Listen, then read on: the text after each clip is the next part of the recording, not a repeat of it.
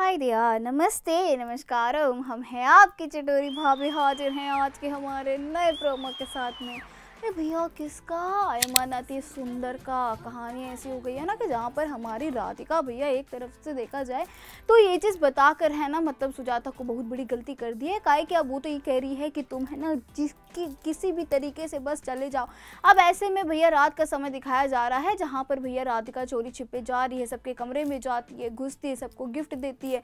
और ऐसे में भैया सुजाता को है ना, नीचे आती है, जहाँ पर वो बताती है कि हमने आपके लिए डायरी रखा है, सबका नापसंद पसंद का खाना और दवाई सबका, और ऐसे में भैया वो फ़ोन भी ले लेती सुजाता, कहती है कि अगर तुम्हारा फ़ोन भैया दिखा ना तो मतलब तुम्हें दिव्यम ढूंढ लेगा और ऐसे में एक खातिर उनको बहुत ज़्यादा सलाह देती है। अब ऐसे में भैया देखा जाए तो राधिका तो चली गई थी, काहे कि सुजाता को पहले ही भगा दी थी दिव्यम के आने के पहले, काहे कि दिव्यम जाग जाता है।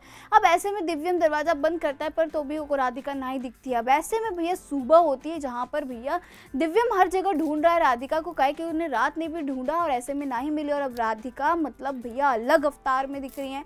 ऐसा लग रहा है ना कि उसकी खोपड़ी थोड़ी ढीली हो गई है मतलब उसका दिमाग का पेज अब ऐसे में भैया सुजाता तो शोक हो गई और राधिका ने रोक कर दिया, कहे कि भैया देखा जाए तो सुजाता भैया सोच रही थी कि ये लड़की चली जाएगी, पर ये तो यही है और ऐसे में उसका देखा जा सकता है बुलबुला फेस। तो वहीं वो राधिका भैया परिवार वालों के सामने भी है ना, अपना अड़भंगी मतलब अवतार लेकर उटपटांग हरकतें कर रही है और दिव्यम को इस चीज़ के लिए शक हो रहा है। बाकी अगर देखा जाए तो भैया ये राधिका का जानबूझकर प्लेन है कि कहीं ये हम लोग को बाहर निकाल दे या फिर भैया उस सुजाता का सच्चाई लाना चाहती है।